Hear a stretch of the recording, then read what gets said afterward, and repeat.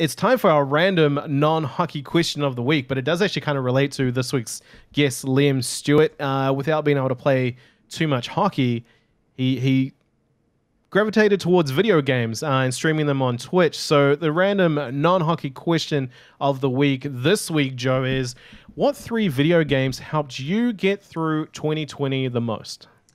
Uh, well, the start of 2020 was a bit of a shitter for me. I got shingles, which is really uh, not ideal.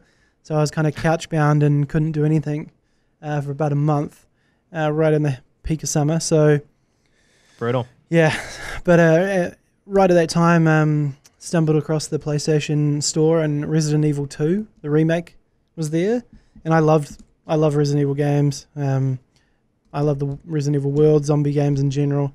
Uh, Resident Evil 2 was a game that I played as a kid for about 49 hours straight one time to try and win, uh, complete it over a weekend. Um, and so to see that remake there was awesome. So and it's really well done. It brings back all the the feelings of the original game.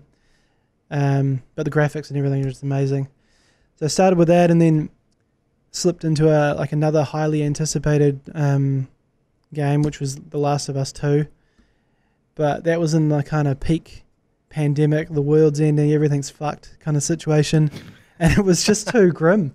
I couldn't I couldn't go on. There was there was a horrific death scene near the start that kind of shook me, and then wow. after that it was just oh, it was just too real. It was just too real with everything going on in the world. So I needed a bit of comic book help, relief, and so I went back to Spider Man, the Spider Man game, which is a couple couple of years old, and just floated around New York City and flinged webs and flung around and just had a good time away from the grimness that was The Last of Us 2 and and the world outside really. Your friendly neighborhood Spider-Man. Yeah. I love that. Speaking of like the kind of the, the kind of vibe with Last of Us 2, I uh, this isn't in my top well in my 3, but uh, I started playing The Division 2 again. Yeah. Uh, this is the one that is based in Washington DC.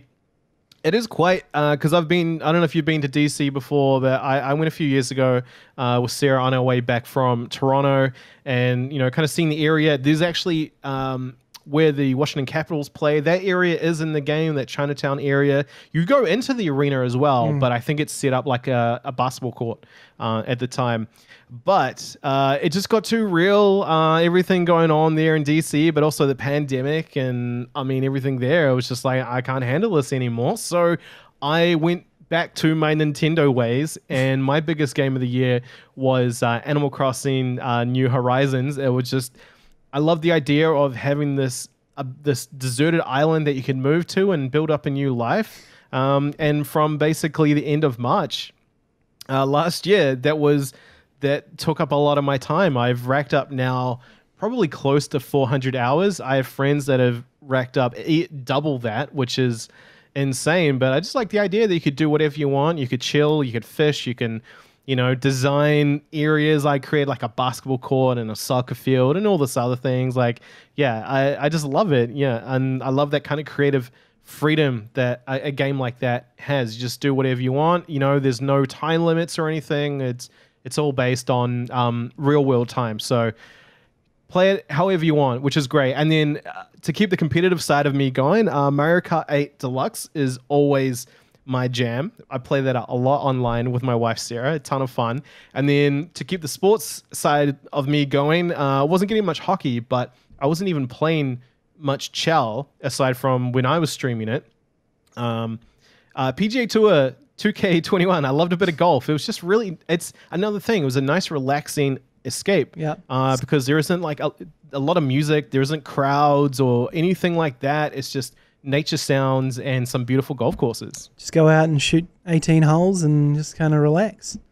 I imagine yeah. that's the perfect one to kind of chuck a podcast on and just um, just play away. You don't need to really focus on zombies creeping up behind you and listen to that. You can just kind of relax and play golf. And get really annoyed that you um, ship over the green and yeah, and then your your ball goes in the water. Totally relaxing. Uh, that didn't happen to me at all.